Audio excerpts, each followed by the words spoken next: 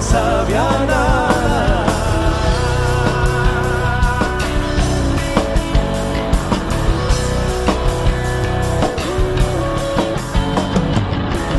Fuiste a buscar las ruinas de un pasado que ya prescribió, de esa noche de un destello sangrado.